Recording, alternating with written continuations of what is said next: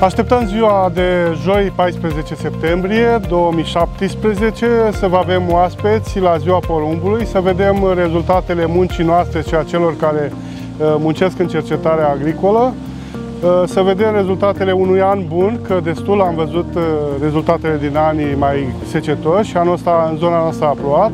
Și sperăm să aveți surprize plăcute și să și veți fi foarte bineveniți.